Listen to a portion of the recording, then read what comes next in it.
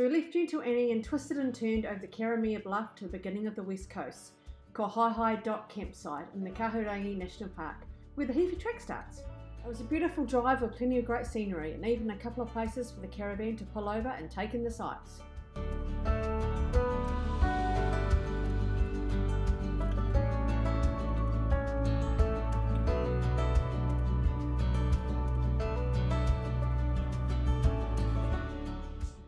Township of Karamea is at the northernmost tip of the west coast.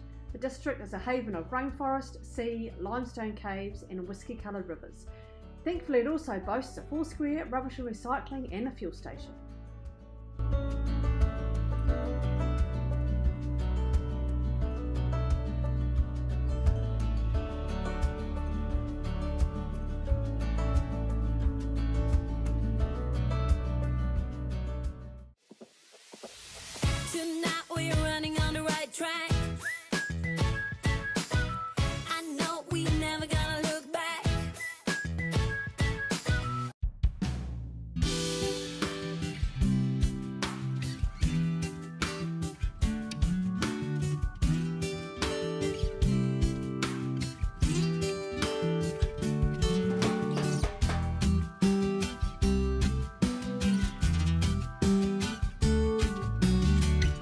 Well, the west coast just keeps giving and giving. What an amazing place. Look at this. Incredible.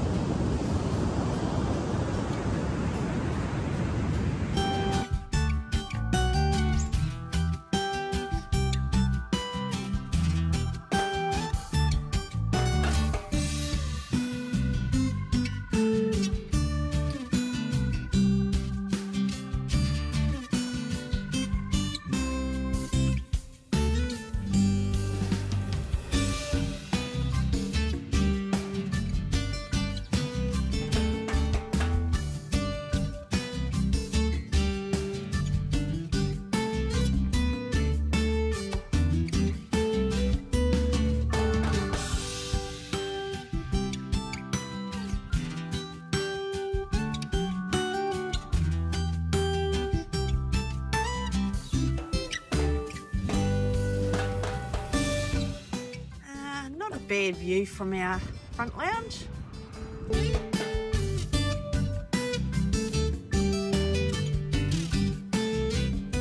Top of the sea, but also some beautiful forests. Oh, and a drone. beautiful views everywhere you look. It's absolutely incredible.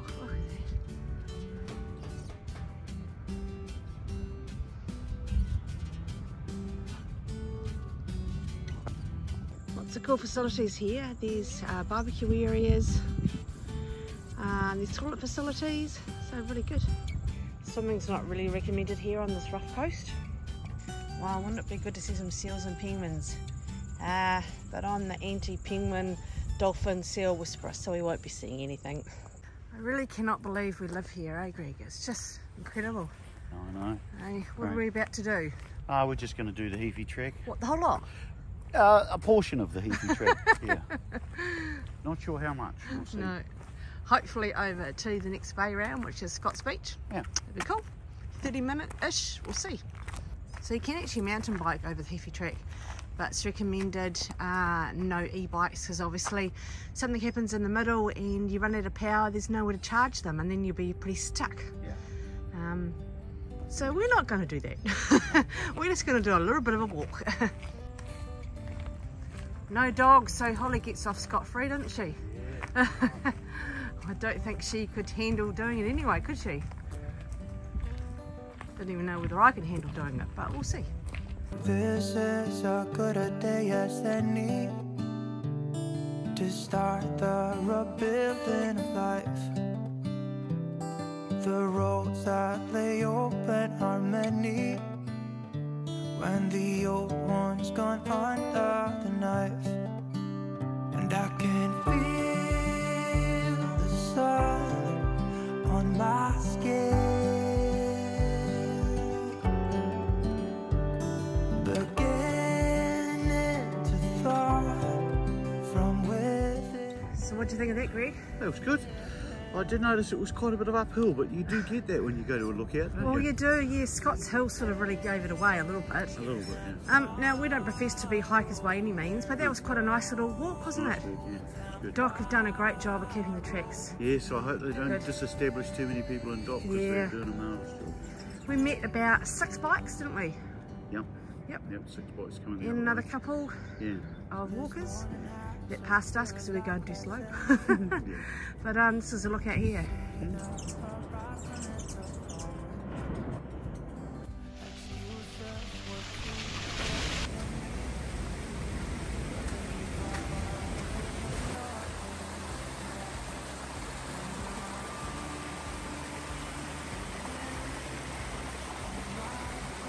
So apparently you can bring your tent and camp here. Obviously no caravans because won't be able to get through the track. But yeah, we just did the part of the Heaphy track to get here. So it's sort of, the beach is right below. So it'd be quite a nice place to, uh, to camp. So since we're doing keto, uh, we couldn't bring beers and um, yummy snacks. So we've got water and a few nuts. Not another soul on this beach, just us. Wow. Oh, look at it. Look at that.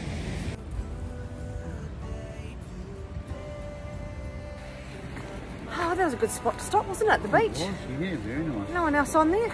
I feel pretty special. Right. Um, can't believe we live in such a beautiful place. eh? It's just, oh, it's absolutely awesome. We don't actually live here, we just parked here, remember? Oh, we don't live here. We're parked here, but we live in New Zealand. That's true. That's true. We're going to do the Nikau walk on the way back, so I'm assuming we're going to see some Nikau, which will be really good. Oh, here we go. Didn't take long, did it? Wow. Pretty cool. Ah,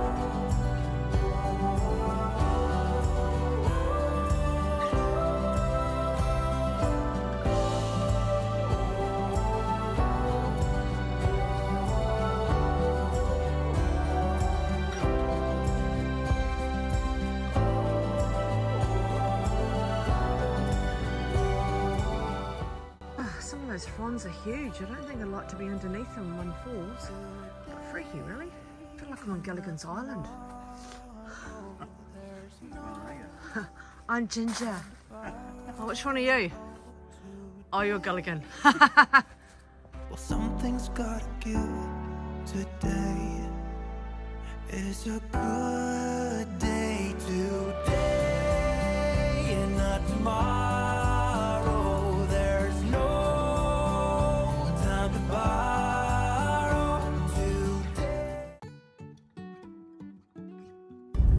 We're going out to the Oparara Basin where we're going to walk to the arches.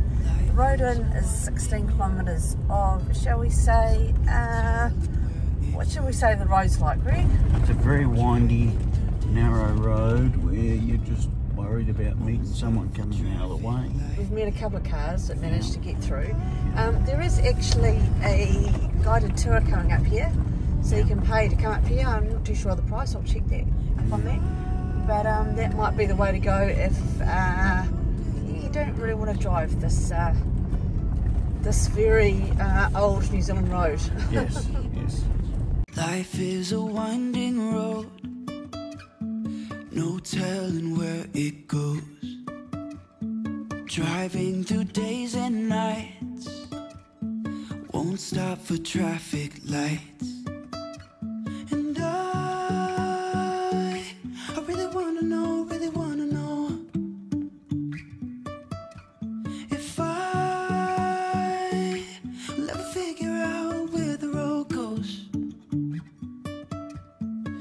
Even if I'm falling down, I will keep on searching for my highs. You can say I lost my mind, I will keep on holding my head high. Even if the sky is falling down.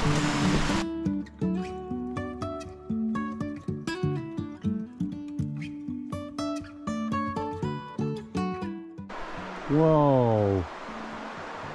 Look Look at at the colour. I know. Why is it that colour, Sandy? Well, apparently it's a tannins from all the, the foliage, you know, the plants around. Oh yeah. So it's really just like dunking a tea bag in hot water. Oh nice. so safe enough to swim in and everything. yeah, yeah, yeah. yeah. But just that colour, look at it. a lot sort of tea bags. Yeah, a lot of tea bags that'll put you off a little bit, doesn't it? Yeah. Super clear though, you can see that.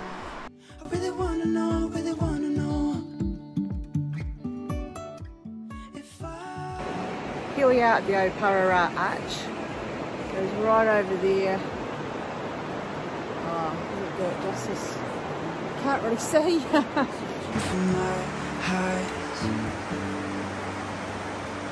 You can say I lost my mind. I will keep on holding my head. so we found a bit of a side path going more by the river, so we're actually hoping it's going to meet up with the main path, otherwise we have to walk all the way back. But it's not quite as well kept as the other path, but it seems we're going okay.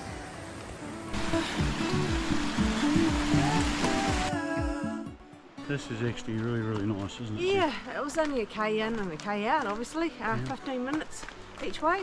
Yeah. A couple of uh, hilly bits, but not really good. They were- Yeah, nice easy track, well maintained. It is, Yeah, isn't it? must do, I reckon. Definitely. Yeah. Beautiful sights to see around every corner. Yeah.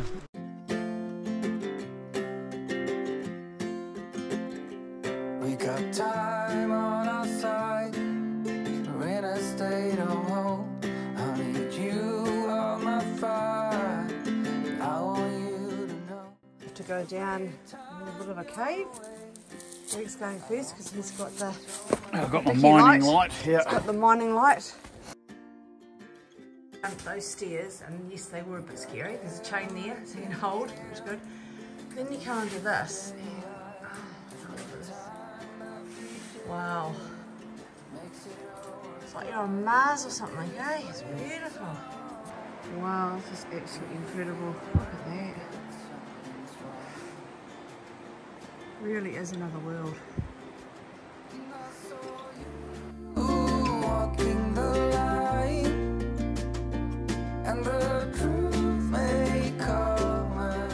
So we're actually the only ones here. I agree. A little bit spooky, but it's kind of cool. And here we have one of the South Island's few remaining cave explorers, Mrs. Sandy Corbett, as she treks off into the unknown, where nobody, well, nobody, a couple of million tourists have not been before.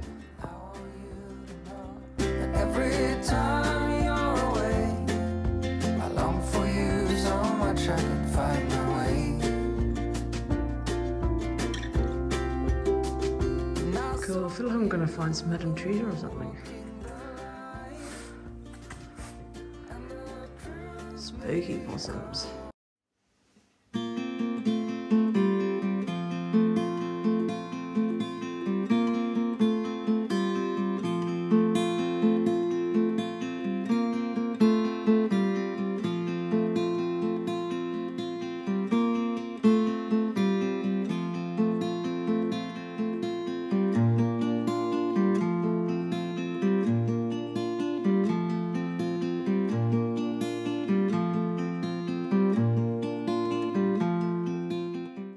Join us next time when we go mining and visit a little bit more of the west coast. Thanks for watching. See you out there.